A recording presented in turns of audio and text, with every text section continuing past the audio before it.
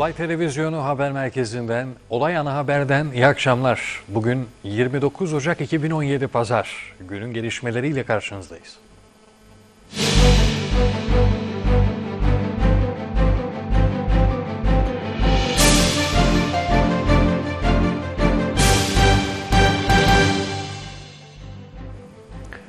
Darbe girişimine karışan 8 askeri Türkiye'ye iade etmeyen Yunanistan'a Genelkurmay'dan önemli bir mesaj geldi. Genelkurmay Başkanı Orgeneral Hulusi Akar, Kardak krizinin yıl dönümünde kayalıkları ziyaret etti. Ziyaret sırasında bir Yunan botunun Akar'ın içinde bulunduğu gemiyi engellemeye çalışması gerilime neden oldu. Yunanistan'ın 15 Temmuz darbe girişiminin ardından ülkeye kaçan 8 Türk askeri iade etmeme kararıyla başlayan kriz derinleşiyor. Hükümetin sert tepki gösterdiği karara Genelkurmay'dan da ilginç bir yanıt geldi. Genelkurmay Başkanı Orgeneral Hulusi Akar, Kardak krizinin yıl dönümünde kayalıkları ziyaret etti. Sabah saatlerinde sürpriz bir kararla Bodrum'a gelen Genelkurmay Başkanı Akar, bir savaş gemisiyle 21 yıl önce krize neden olan Kardak Adası'nda incelemelerde bulundu. Akar'ın içinde bulunduğu gemi iki hücum botun eşliğinde kayalıklara yaklaşırken, aynı dakikalarda Kardak krizi sırasında düşen helikopterde hayatını kaybeden 3 Yunan askeri için Kilim Adası'nda anma töreni düzenleniyordu. Bu sırada bir Yunan botu Akar'ın içinde bulunduğu geminin kayalıklara ulaşmasını engellemeye çalıştı. Yunan botunun bu hamlesi bölgede gergin anların yaşanmasına neden olurken Genelkurmay Başkanı Akar yarım saat sonra Bodrum'a döndü. Hazır bekleyen iki helikopterden birine binen Genelkurmay Başkanı Orgeneral Hulusi Akar, sahil ve Kardak civarını bir sürede havadan kontrol ettikten sonra bölgeden ayrıldı. Sürpriz ziyarete ilişkin açıklama Milli Savunma Bakanı Fikri Işık'tan geldi. Ee, Genelkurmay Başkanımız bugün kendi rutin faaliyet programı çerçevesinde Bodrum'a oradan da bölgeyi bir ziyaret etmiş. Bölgede hiçbir şekilde emrivakiye Türkiye'nin boyun eğmeyeceğinin herkes tarafından bilinmesi gerekiyor. 1996 yılının Ocak ayında Figen Akat isimli Türk bandralı bir geminin Kardak kayalıklarında karaya oturması iki ülkeyi savaşın eşiğine getirmişti. Deniz kazasının kendi karasularında olduğunu ileri süren Yunanistan, doğudaki adacığa asker çıkarıp bayrak dikmiş, bunun üzerine iki ülkenin deniz kuvvetleri adanın çevresinde konuşlanmıştı. Bu asker gidecektir, bu bayrak inecek. Dönemin Başbakanı Tansu Çiller'in bu açıklamasının ardından 30 Ocak 1996 gecesi Türk SAT ve SAS komandoları Doğu Kardağı kuşatmış olan Yunan donanmasının arasından geçerek Batı Kardağı Türk bayrağını dikmişti. Dönemin Amerikan Başkanı Bill Clinton'ın girişimleriyle tansiyon düşürülmüş ve kriz öncesi duruma dönülmüştü. Fırat Kalkanı Harekatı'nın 159. gününde maalesef acı haber geldi. Terör örgütü IŞİD'in Elbap'ta düzenlediği saldırıda uzman çavuş Ayhan Elmacı şehit oldu, iki asker de yaralandı. Şehit askerin ateşi İzmir'deki baba ocağını yaktı. Türk Silahlı Kuvvetleri ile Özgür Suriye Ordusu'nun 21 Aralık'ta 3 yönden kuşattığı Elbap'tan bir acı haber daha geldi.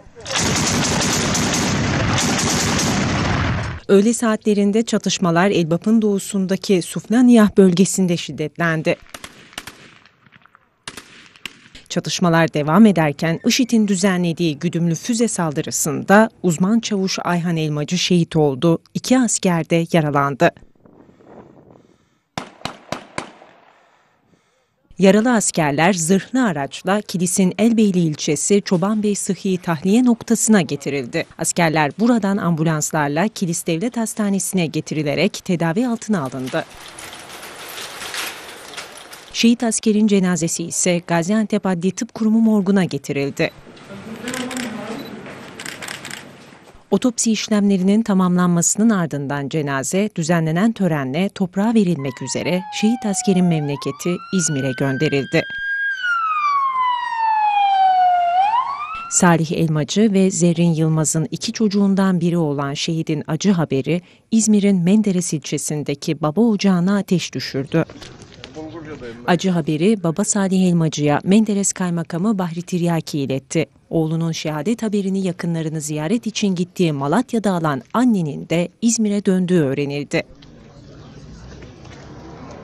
2013 yılında göreve başlayan şehidin en son geçen yaz memleketi İzmir'e geldiği öğrenildi.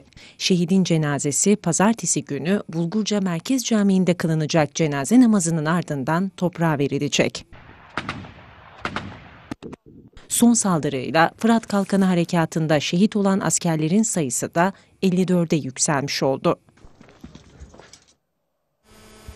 Fırat Kalkanı Harekatı 159. gününde de devam ediyor. Türk e, terör örgütü IŞİD'e ait 148 hedef vurulurken 18 terörist etkisiz hale getirildi. Terör örgütü IŞİD'e ait 130 hedef kara unsurlarınca ateş altına alınarak imha edildi. Türk savaş uçaklarının Elbap ve Zagaf bölgelerinde düzenlediği hava harekatında da 3 silah mevzisi, 4 kontrol noktası, 2 tünel ve barınma amaçlı kullanılan 9 bina imha edildi. Harekat kapsamında gün içinde 18 terörist etkisiz hale getirildi. Koalisyon güçleri tarafından Elbap'ta bulunan IŞİD hedeflerine yönelik iki hava harekatında da terör örgütü mensuplarınca karargah olarak kullanılan bir bina ve tünel imha edildi.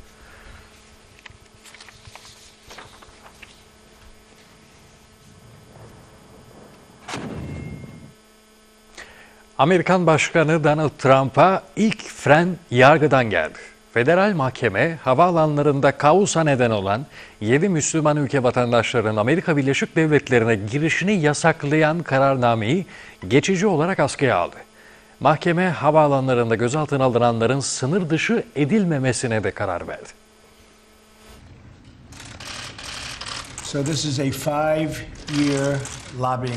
Amerikan Başkanı Donald Trump göreve başlamasının 9. gününde ilk mağlubiyeti yaşadı.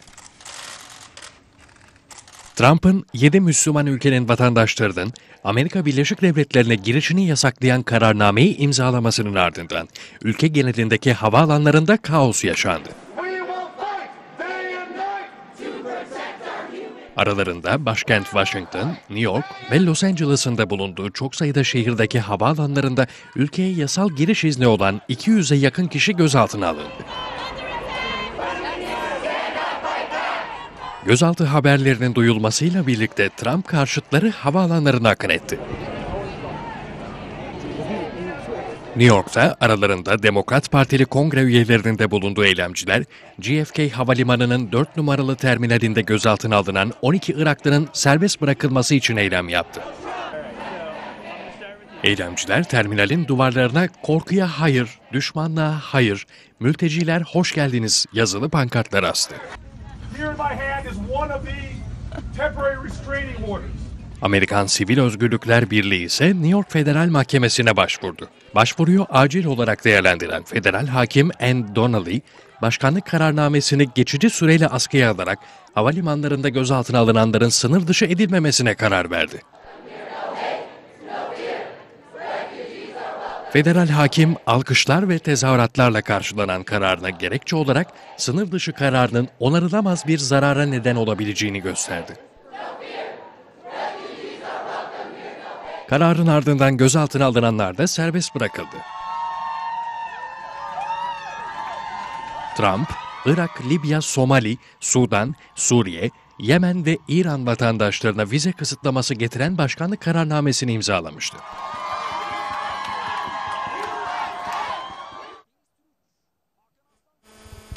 Amerikan Başkanı Donald Trump'ın vize kısıtlaması Atatürk Havalimanı'nda da karmaşaya neden oldu. Amerikalı görevlilerin listesinde yer alanlar uçaklara alınırken onlarca yolcunun vizeleri havaalanında iptal edildi. Amerikan Başkanı Donald Trump'ın 7 Müslüman ülkenin vatandaşlarının Amerika Birleşik Devletleri'ne girişini yasaklayan kararı Atatürk Havalimanı'nda karmaşaya neden oldu. Belirli niteliklere uyan ve Amerikan konsolosluk yetkililerinin listesinde adı bulunan yolcular uçağa alınırken bazı yolcuların ise vizeleri iptal edildi. Yetkililer, havayolu ve güvenlik şirketlerine henüz bir yazı gelmediğini ancak Amerikalı görevlilerin verdiği liste ve izin doğrultusunda yolcuların uçağa binmesine izin verildiğini belirtti. Vizesi iptal edilen yolculardan biri de Suriye uyruklu 32 yaşındaki Nail Zayin oldu. Türk Hava Yolları'nın tarifeli seferiyle öğle saatlerinde Los Angeles'a gitmek için havalimanına gelen Nail Zayin, vizesi iptal edilerek uçağa alınmadı. So I don't know what to do right now. He said Eşi ve çocukları Los Angeles'ta yaşayan Suriyeli gözyaşlarını tutamadı. Eşi, kız kardeşi ve iki çocuğuyla birlikte İstanbul'dan New York'a gidecek olan Iraklı Ahmet Zahir de yeşil kart olmasına rağmen uçağa binemedi. İki yıldır Amerika Birleşik Devletleri'nde yaşayan ve iki hafta önce Irak'a geldiği öğrenilen Zahir, dönüşünde ülkeye giremeyeceğini öğrenince uçuşunu iptal etmek zorunda kaldı. Görevinin ilk krizini yargıyla yaşayan Amerikan Başkanı Donald Trump, Rusya Devlet Başkanı Vladimir Putin ve batılı liderlerle telefon görüşmeleri gerçekleştirdi.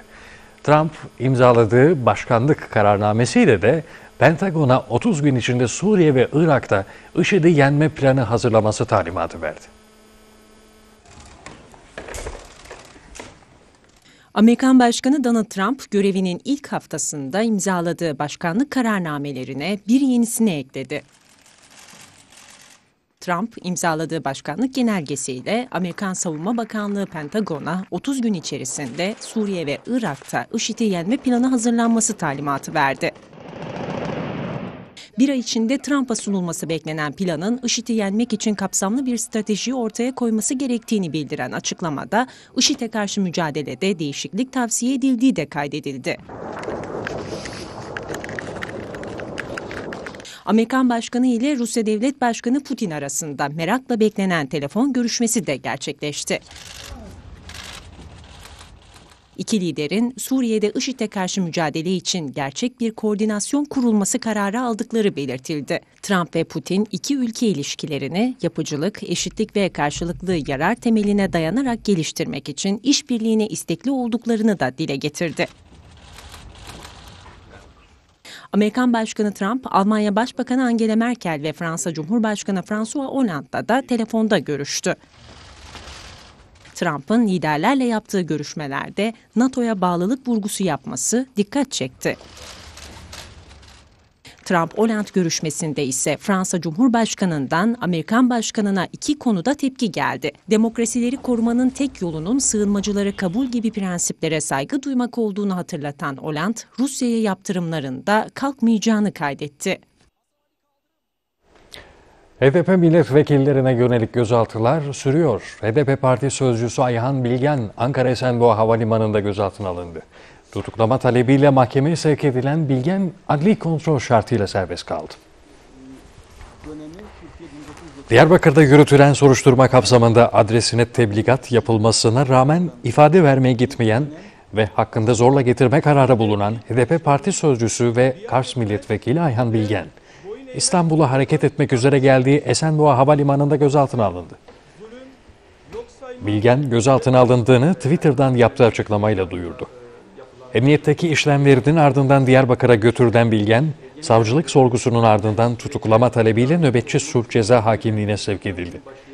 Bilgen adli kontrol şartıyla serbest bırakıldı. Yani hepimizde acaba çatışmalar Sayın seyirciler dün akşam yurt genelinde 50.696 polisin katılımıyla eş zamanlı huzur operasyonları düzenlendi.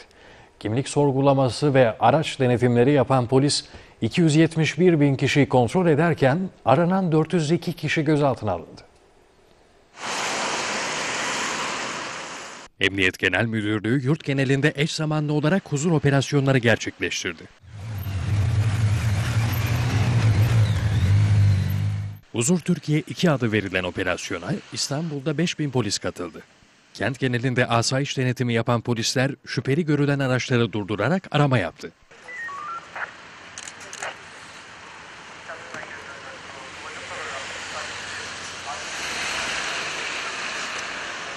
Çok sayıda kişiye GBT sorgusu yapılırken operasyonlara polis helikopteri de havadan destek verdi. Ankara genelindeki operasyonlarda da çok sayıda kişi arandı. Kahramanmaraş'ta 950 polisin katılımıyla gerçekleşen operasyonda aranan 12 kişi yakalandı.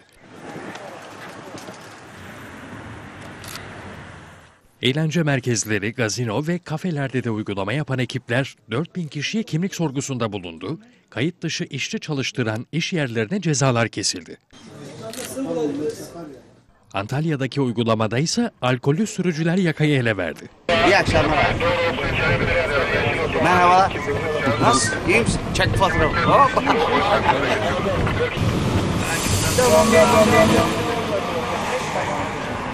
Alkol almışsınız herhalde. Bir tane bira işte. Adıyaman'daki operasyonda da aranan iki kişi yakalanırken 7 şüpheli hakkında işlem yapıldı.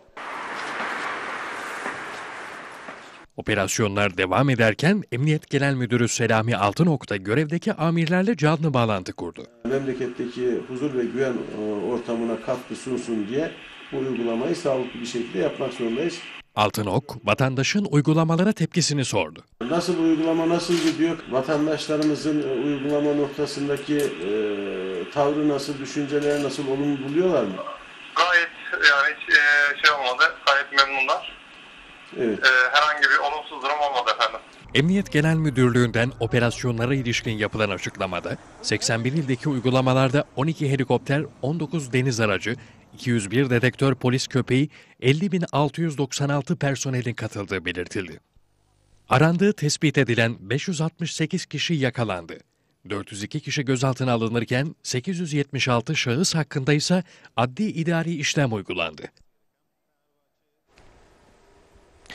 Bursa'da da 2500 polisin katılımıyla huzur operasyonu gerçekleşti. Yapılan denetimlerde hakkında yakalama kararı bulunan 107 şüpheli gözaltına alındı. Yurt geneliyle eş zamanlı Bursa'da yaklaşık 2500 polisin katılımıyla sabit yol uygulaması ve eğlence mekanlarıyla umuma açık yerlerde denetimler gerçekleştirildi. Uygulamada 4810 kişinin ulusal yargı bilişim sistemi sorgulaması yapıldı. Haklarında yakalama kararı bulunan 107 şüpheli gözaltına alındı. Aramalarda iki pompalı tüfek, 5 tabanca, uyuşturucu maddeler ve iki çalıntı motosiklet ele geçirildi.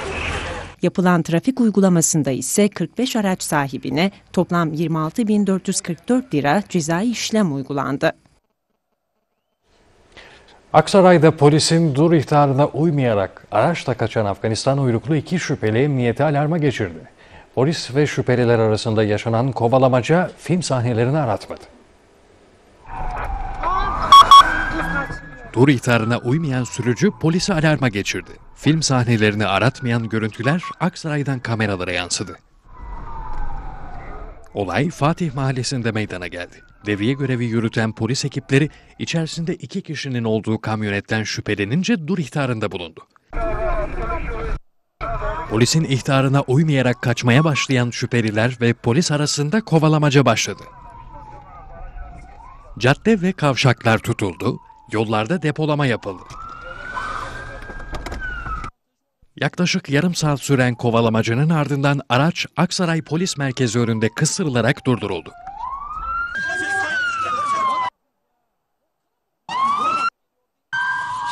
Araç içerisindeki Afganistan uyruklu sürücü Vahidullah Özbek'le yanındaki Rahmetullah Ayveri isimli şüpheliler etkisiz hale getirilerek gözaltına alındı.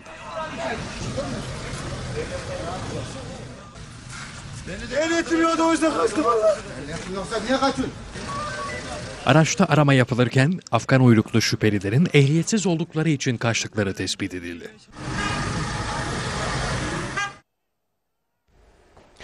Kar yağışı ve soğuk hava yurt genelinde etkili olmaya devam ediyor. Hakkari ve Muş'ta 468 köy ve 247 mezra yolu kapandı. Vatandaş çareyi mahallelere kardan tüneller açmakta buldu. Mersin'de ise kar yağışı ve soğuk hava yine çiftçiyi mağdur etti. Türkiye soğuk hava dalgasının etkisi altında. Doğuda kar yağışı hayatı felç ederken batı soğukla mücadele ediyor. Muş'ta günlerdir etkili olan yağışla tek katlı evler kara gömüldü, Kale Mahallesi'nde kardan tüneller oluştu. Şu anda gördüğünüz gibi ins- insan boyu kar var. Biz de kendi imkanlarımızla yollar açmışız. Ee, şu anda kar tünelleri açıp eve gidiyoruz. Kentte iki gün boyunca aralıksız devam eden ve 365 köy yolunun ulaşıma kapanmasına neden olan kar yağışı hayatı durma noktasına getirdi. Şiddetli rüzgar ve kar yağışı nedeniyle de kentte bir akaryakıt istasyonunun çatısı çöktü. ön tarafın burada görmüş olduğunuz halatların kopması neticesinde çöktüğünü gördük.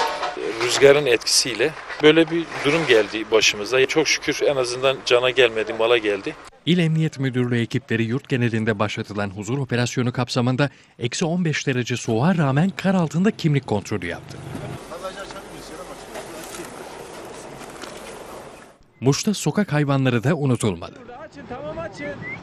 Sokakta yaşayan köpekler için e, kasaplardan saka- sakata topluyoruz. Buğday topluyoruz, bayat ekmek topluyoruz fırınlardan. Bu zorlu e, hava şartları normale dönene kadar e, projemizi devam ettireceğiz. Kars merkeze bağlı Küçük Yusuf köyünde etkili olan tipi nedeniyle mahsur kalan 4 aylık Ömer Halis Demir'in imdadına ekipler yetişti.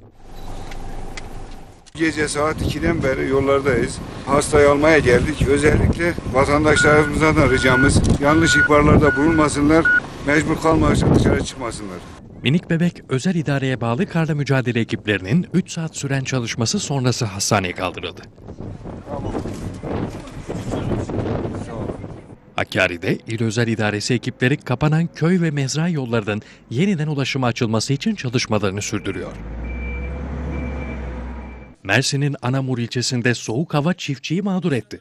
Gece sıfırın altında seyreden hava sıcaklıkları nedeniyle seralar buz tuttu, kivi ve muz fidanları büyük zarar gördü. Bu ceyran olmayanlar, kesilenler, ce- ceyransız çalıştıranlar yani hasar ya, hasar büyük. Bu görmüş olduğun trafonun dibinde tam 9 saat bekledik. Ne yazık ki 11 saatte zor ekip geldi. Bitkilerimiz de dondu. Isparta'nın Eğridir ilçesinde etkili olan soğuk hava ve rüzgar nedeniyle Eğridir Gölü kıyısındaki ağaçlar ve işletmelere ait eşyalar buz tuttu. Gece sıcaklıkların sıfırın altında 20 dereceye kadar düştüğü ilçede çok sık görülmeyen bu manzara vatandaşları da şaşırttı. Bartın'da kar ve buzlanma nedeniyle kontrolden çıkan yolcu otobüsü devrildi. Kazada otobüs şoförüyle iki yolcu hayatını kaybetti, dört kişi de yaralandı. Olumsuz hava koşulları Bartın'da kazaya davetiye çıkardı. Karla kaplı yolda kontrolden çıkarak devrilen yolcu otobüsündeki 3 kişi öldü, 4 kişi de yaralandı. Kaza gece yarısı Karaçay Mahallesi mevkiinde meydana geldi.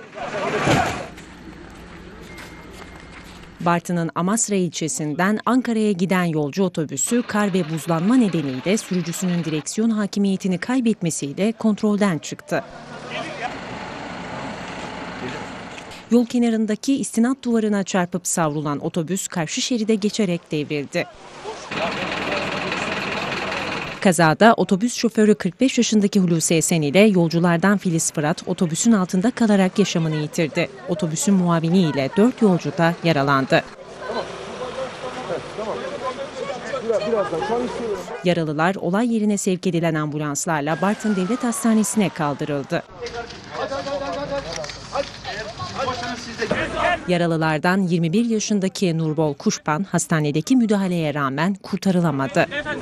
Ölen iki kişinin cesedi ise vinçle kaldırılan otobüsün altından güçlükle çıkarıldı.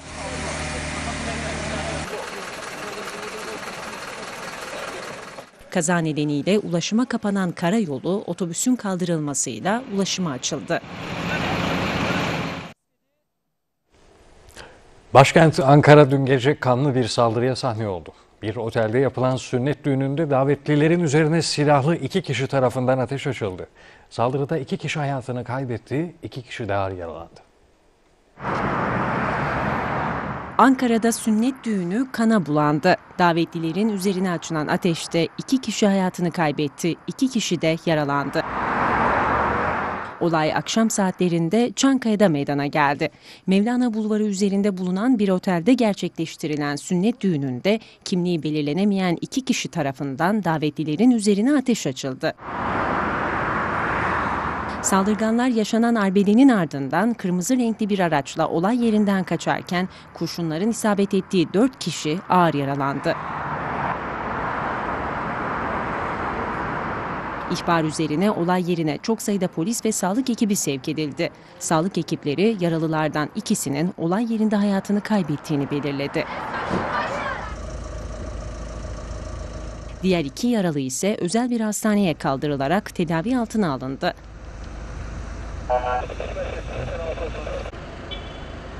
Polis ekipleri hastane önünde güvenlik önlemi alırken kaçan saldırganların yakalanması için operasyon başlatıldı.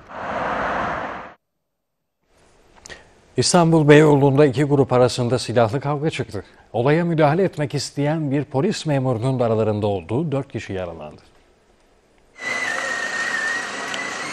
İstanbul Beyoğlu'nda iki grup arasında silahlı kavga çıktı. Biri polis dört kişi yaralandı. Olay sabah saat 5.30 sıralarında Mis Sokak'ta meydana geldi. Yukarıda e, büyük parmak kapıdan bir grup aşağı doğru geldi. Baktım birkaç kişi daha geldi. Birbirine girdiler. Ondan sonra aşağı doğru da birisi kaçtı aşağı doğru. E, bir 20 metre falan aşağı inince silah sıkmaya başladı. Bayağı 25-30 tane sıktılar. İki grup arasında çıkan tartışma kısa sürede büyüyerek silahlı kavgaya dönüştü. Silah seslerini duyan Beyoğlu Güven Timinde görevli polis memuru Onur Karaman sokağa gelerek olaya müdahale etmek istedi. Yaşanan arbede sırasında polis memuru bacağından vurularak hafif şekilde yaralandı. Olayda biri kadın üç kişi de silahla vurularak yaralandı. Bölgeye çok sayıda polis ve ambulans ekibi sevk edildi. Yaralı polis memuru İstanbul Üniversitesi Çapa Tıp Fakültesi Hastanesi'ne kaldırılırken diğer yaralılar Ok Meydanı Eğitim ve Araştırma Hastanesi'nde tedavi altına alındı. Olay yerinde delil araştırması yapan polis, kaçan şüphelileri yakalamak için güvenlik kameralarını da incelemeye aldı. Konya'da psikolojik sorunları olduğu iddia edilen 45 yaşındaki işsiz adam tartıştığı bir çocuk annesi 43 yaşındaki eşini vücudunun 8 yerinden bıçaklayıp kolunu kırdı. Zanlı olayın ardından teslim olurken yaralanan kadın hastanede tedavi altına alındı. Önce karısını 8 yerinden bıçakladı, ardından kolunu kırdı. Akıl almaz olay Konya'nın Emirgazi Mahallesi Şair Ruhsat Sokak'ta bulunan tek katlı müstakil evde sabaha karşı saat 3 sularında meydana geldi. Aracı bir almaya çalışıyorum. Tamam. İddiaya göre Ahmet Balcı, belirlenemeyen bir nedenle eşin evin Balcı ile tartışmaya başladı. Tartışmanın kavgaya dönüşmesi üzerine Ahmet Balcı, eline geçirdiği bıçakla eşinin üzerine saldırdı. Eşini kollarından, göğsünden ve sırtından bıçakladıktan sonra döverek kolunu kıran Ahmet Balcı evden kaçtı. Çiftin çocuklarının ihbarı üzerine olay yerine polis ve sağlık ekipleri sevk edildi. Ambulansla Konya Eğitim ve Araştırma Hastanesi'ne kaldırılan Nevin Balcı tedavi altına alındı. Yapılan kontrollerde kadının aldığı bıçak darbelerinin organlarına zarar verdiği belirtildi. Nevin Balcı, polise verdiği ilk ifadesinde eşinin psikolojik sorunları olduğunu, daha önce de kavga ettiklerini belirtti. Olaydan sonra kaçan Ahmet Balcı ise yakındaki Köprübaşı Polis Merkezi'ne giderek teslim oldu. Kavga esnasında kolundan yaralandığını belirten Balcı, sağlık ekipleri tarafından yapılan ilk tedavinin ardından tedbir amaçlı Selçuk Üniversitesi Tıp Fakültesi Hastanesi'ne kaldırıldı. Bursa'nın Orhan Gazi ilçesinde kontrolden çıkan otomobil elektrik direğine çarptı. Otomobilde bulunan 3 kişi yaralanırken sürücü sıkıştığı yerden güçlükle kurtarıldı. Bursa'da elektrik direğine çarpan otomobilde bulunan 3 kişi ölümden döndü. Kaza Orhan Gazi ilçesinde meydana geldi. Abdullah Kahraman idaresindeki 16Z 1064 plakalı otomobil Göl Kavşağı yakınlarındaki Zeytinciler Çarşısı girişinde kontrolden çıkarak elektrik direğine çarptı. kazada araçta bulunan 3 kişi yaralandı. Yaralılardan Erdem Fidan ve Osman Şimşek çevredeki vatandaşlar tarafından otomobilden çıkartılarak ambulansla Orhan Gazi Devlet Hastanesi'ne kaldırıldı. Vatandaşlar otomobilde sıkışan sürücü Abdullah Kahraman'ı kurtarmayı başaramayınca itfaiyeye haber verildi. Araçta sıkışan sürücü kahraman itfaiye ekiplerinin yarım saatlik çalışması sonucu bulunduğu yerden çıkarıldı. Orhan Gazi Devlet Hastanesi'ne kaldırılan Abdullah Kahraman'ın hayati tehlikesinin bulunduğu bildirildi.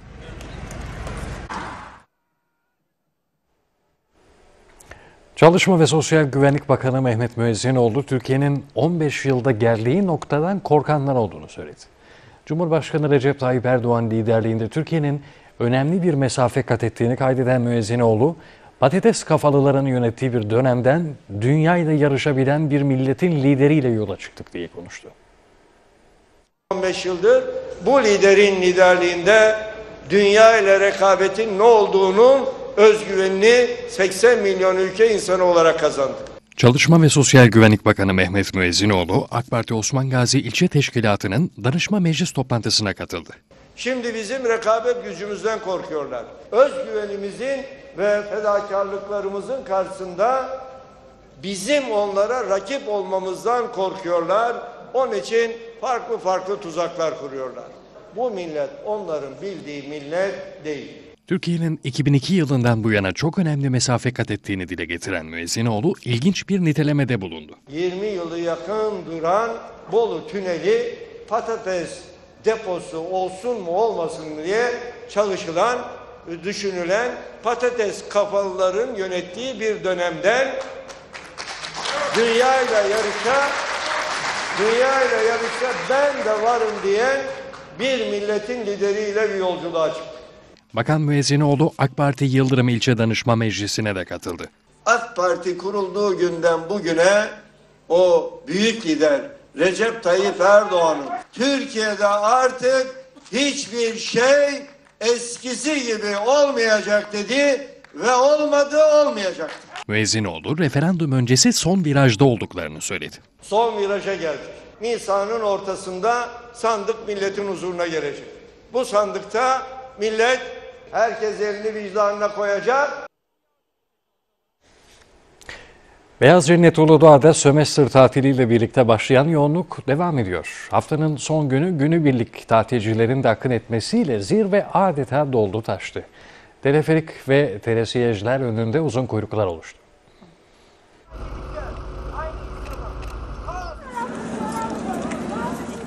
Tatilciler hafta sonu Uludağ'a akın etti. Zirvede adım atacak yer kalmadı.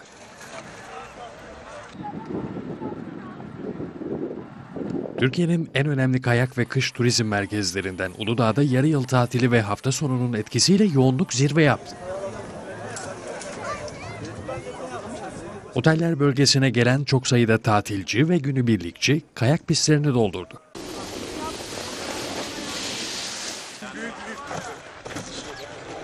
Yaşanan yoğunluk nedeniyle teleski, teleferik ve telesiyej tesisleri önünde uzun kuyruklar oluştu. Kar kalınlığının 200 santimetre olarak ölçüldüğü Beyaz Cennet'te oteller ve diğer konaklama tesislerindeki doluluk oranı %100'e ulaştı. Oteller bölgesine araçlarıyla gelen vatandaşlarsa zaman zaman trafikte sıkışıklığa sebep oldu. Büyükşehir Belediyesi de yeni sezon için hazırlıklara şimdiden başladı. Projelerimiz bitmek üzere. Hemen ihale edip Nisan ayında inşaatlara başlıyoruz burada. Artık kapalı alanda otoparklar olmuş olacak ve araçlar kapalı alana girmiş olacak. Zirvede hem kış şenliği düzenleyen hem de AK Partili belediye başkanlarını ağırlayan Büyükşehir Belediye Başkanı Recep Altepe, Uludağ 12 ay turizmi açmayı planlıyor. Uludağ kışın olduğu gibi yazın da cıvıl cıvıl olur. Her türlü etkinlikler yapılabilir. Her türlü yürüyüşler, dağcılık sporları. O kadar çok etkinlik yerimiz, merkezimiz var ki. Yarı yıl tatiliyle birlikte hareketlenen Beyaz Cennet Uludağ'da bir kaza ucuz atlatıldı. Sürücüsünün üzerinden düştüğü kar motosikleti pistlerdeki tatilcileri çarpmak üzereyken üzerine atlayan bir kayakçı tarafından durduruldu. Dur, dur gel. Hızlı çek. Türkiye'nin en önemli kayak merkezlerinden Uludağ, aksiyon filmlerine aratmayan bir görüntüye sahne oldu. İkinci bölgede aşırı hız yapan kar motosikleti aniden karşı yönden gelen bir başka kar motosikletiyle karşılaştı. Birbirine çarpmamak için hamle yapan iki sürücüden biri motosikletten düştü. Kontrolden çıkan kar motosikleti ise hızla pistlerdeki tatilcilere doğru ilerlemeye başladı.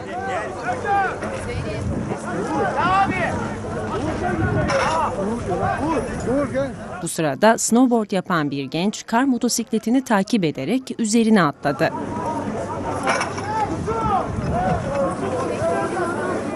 Kaza kimse yaralanmadan atlatılırken jandarma ekipleri hızlı giderek kazaya sebebiyet verdiği iddia edilen sürücü hakkında işlem başlattı.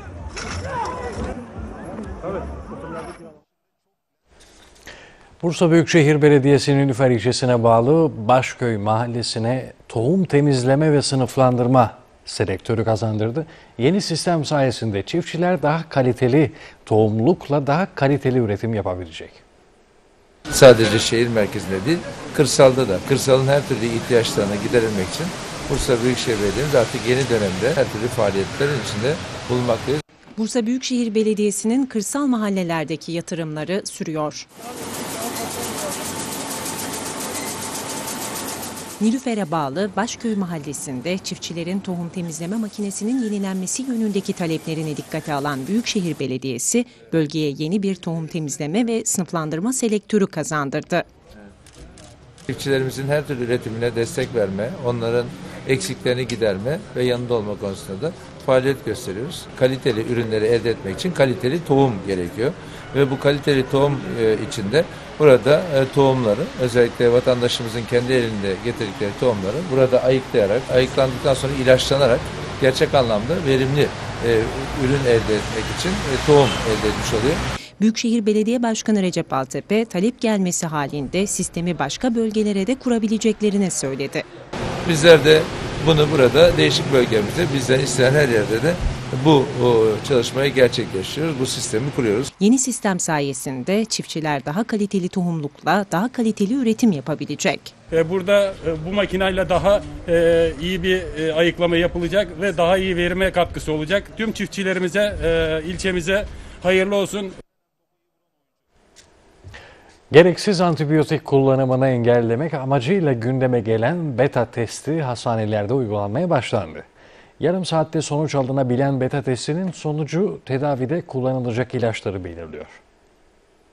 Boğazdaki enfeksiyonların %70-80'i viral olduğunu unutmamak lazım. Grip ya da benzeri virüsler neden oluyor ve griplere antibiyotiklerin hiçbir etkisi yok. Türkiye'de bilinçsiz tüketimi giderek artan antibiyotikler için yeni bir uygulama başladı. A grubu beta hemolitik streptokok olduğu için kısaca beta diyoruz buna. Beta testi e, boğazda enfeksiyon yapan bakteriyi tespit ediyor. Antibiyotik kullanımını belirlemek amacıyla uygulanan beta testi hastanın sadece 5 dakikasını alıyor. Hasta polikliniğe gittiğinde hekimi tarafından bir boğaz sürüntüsü alınıyor. 5 dakika gibi bir sürede sonuç veriyor. Peki beta testi nasıl uygulanıyor? Çok kolay, tamamen ağrısız, hiçbir konforunu bozmayacak bir işlem. Kulak çapı benzeri uzun bir çubukla bademciklerin üzerine ve boğazın duvarına sürüyoruz. Tüpün içine aktararak oradan birkaç damla alarak sonuç alıyoruz. Eğer bu sonuç pozitif ise, eğer beta varsa kişinin antibiyotik kullanması gerekiyor. Eğer beta yok ise kişinin kesinlikle antibiyotik kullanmaması gerekiyor. İlaç kullanımında artık hekimlerle birlikte hastalara düşen sorumluluklar da var. Hastaların da özellikle hekimleri e, antibiyotik yazma konusunda zorlamamaları gerekiyor. Gereksiz antibiyotik kullanımı metabolizmada yaşayan yararlı bakterileri de öldürüyor. Vücudumuzda çok fazla e, bizimle ortak çalışan, vücudun lehine çalışan mikroorganizmalar var. Biz antibiyotik kullanarak bunları tamamen ortadan kaldırıyoruz. Çağdaş Gazeteciler Derneği Bursa Şubesi'nde bugün genel kurul heyecanı vardı. Tek listeyle gidilen genel kurulda Aykut Güngör yeniden başkanlığa seçildi. ÇGV Bursa Şubesi 15. olan genel kurulu dernek lokalinde yapıldı.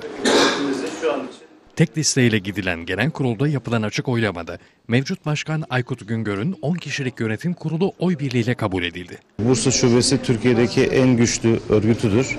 Çağdaş Gazeteciler hem üye sayısı olarak hem örgütlülük anlamında.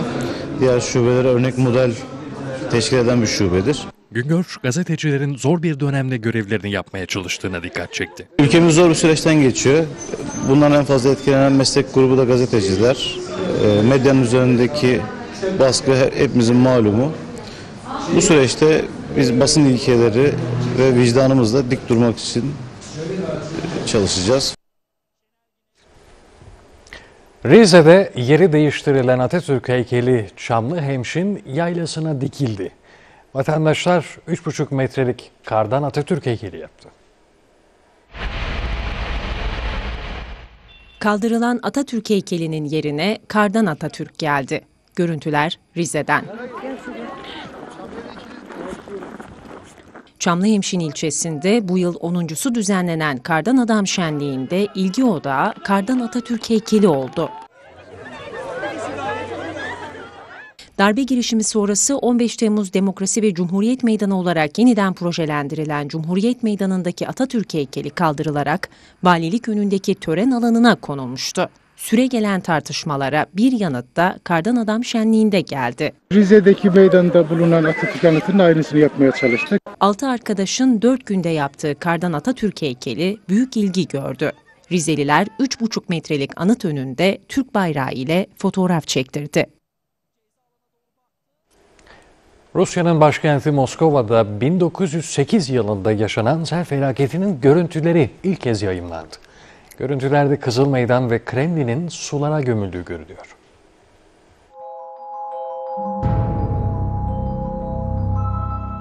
...1908 yılında Moskova'da yaşanan sel felaketi sonrası... ...şehrin durumunu yansıtan görüntüler 109 yıl sonra gün yüzüne çıktı. Görüntülerde Kızıl Meydan ve Kremlin'in sular altında olduğu görülüyor. Kent sokakları taşan Moskova Nehri nedeniyle suyla dolunca insanlar ulaşım için sandalları kullanıyor.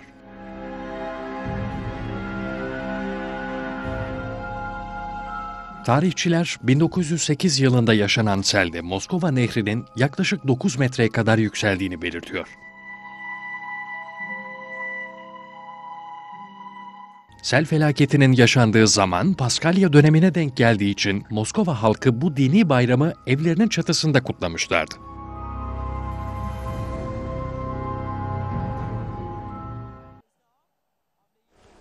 Son haberimizde efendim. Olay ana haberi burada noktalıyoruz. Mutlu akşamlar.